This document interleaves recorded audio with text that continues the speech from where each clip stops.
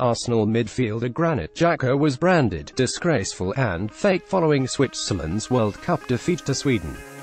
The Swiss were knocked out at the last 16 stage in Russia following Emil Forsberg's deflected second-half strike.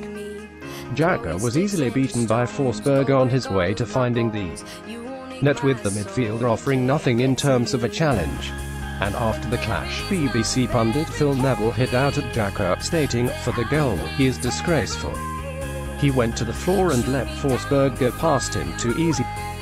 He's probably sat in the dressing room thinking, I've had a good game today, I played a few sideways passes to my teammates.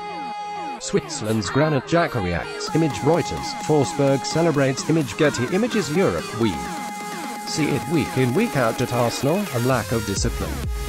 He is not my type of player. He cost his team the goal.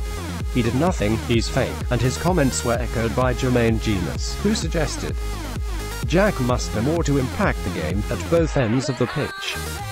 BBC pundit Phil Neville Image BBC Jenas also hit out at the midfielder Image BBC Granit Xhaka kicks the ball. Image AFP One of the big problems with him you have to be one or the other, Jenas said. If he wants to be a deep-lying player and get on the ball, he needs to stick his foot in like Kante.